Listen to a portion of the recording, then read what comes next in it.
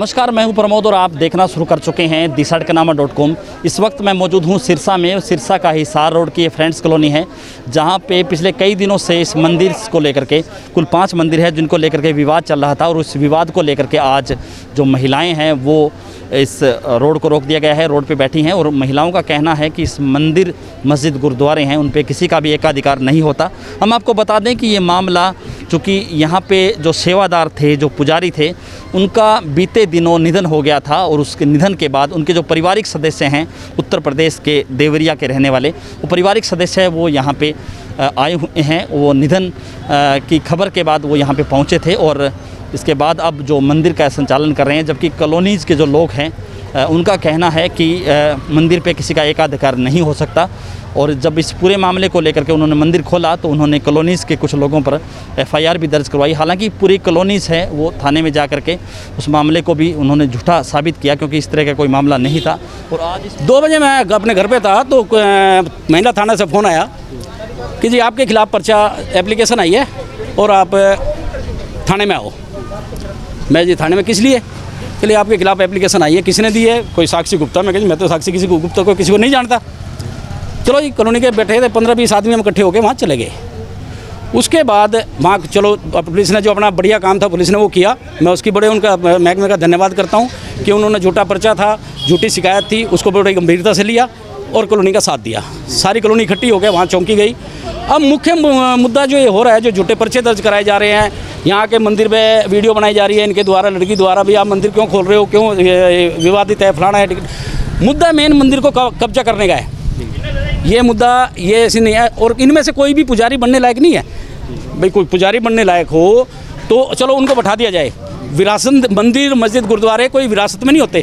भाई, बाबा कोई पुजारी है, वो एक्सपायर हो गया और उनका औलाद आके या उनका परिवार आ आके उसको मंदिर को संभाल लेंगे। ऐसा हमने तो कहीं देखा नहीं।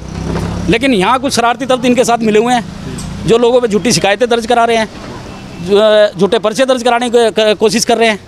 ताकि मंदिर पे कब्जा कर सके। हाँ मैं लंबे समय से सेवादार था यहाँ का। बाबा जी पुजारी थे जो भी थे। तो बहुत अच्छा वो चला रहे थे और आज भी उनका मान सम्मान हम रखेंगे हमेशा के लिए।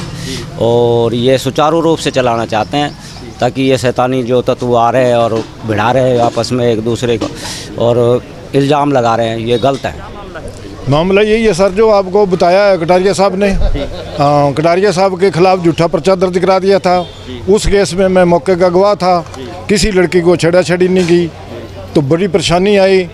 अफसरों को हाथ जोड़ के सारा करके वो मामला जो है रफा दफ़ा कराने की कोशिश की जा रही है जबकि झूठा मामला है। सर जैसा कि मुझे शब्दों में बयां करने की ज़रूरत नहीं है आप इतनी सारी महिला शक्ति को देख के जब आज का माहौल ऐसा है कि कोविड नाइन्टीन के कारण सब लोग अपने घर में दुबके हुए हैं। लेकिन हमारे कॉलोनी के अंदर एक ऐसा माहौल क्रिएट हुआ, जो हमारे यहाँ मंदिर में बाबा जी थे, उनकी डेथ हुई। तो उनके जो परिवार वाले हैं, वो यहाँ पर कब्जे के लिए बैठे हैं कि ये मंदिर उनका है। जबकि मंदिर, गुरुद्वारा कोई भी किसी की जागीर नहीं हुए। अगर किसी ने वहाँ पे पूजा की या दान दिया तो वो उसका नहीं हुआ। वो सभी का बराबर है। जैसा कि सरकार का आदेश हुआ था कि आठ तारीख को सभी मंदिर व गुरुद्वारे, जो भी पूजा के संस्थान है, वो खोल दिए जाएँ। लेकिन हमारे जो बाबा जी के रिश्तेदार आके बैठे हैं, जब भी हमारी कॉलोनी के प्रधान जी या कोई अन्य सदस्य मंदिर को खोलने के लिए आते हैं तो वो इस चीज़ में रुकावट पैदा करते हैं। तो आज हम सब इसीलिए यहाँ पे इकट्ठा हुए हैं कि भगवान का दरबार जो है वो सबके लिए खोला जाए।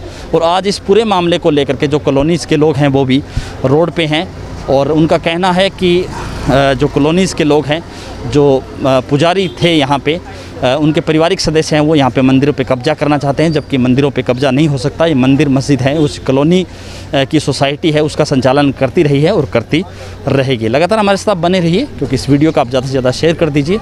हमारे यूट्यूब चैनल को आप सब्सक्राइब कर दीजिए और अगर ये वीडियो आप फेसबुक या ट्विटर पर देख रहे हैं तो हमारे पेज को फॉलो करना ना बोले बहुत बहुत शुक्रिया।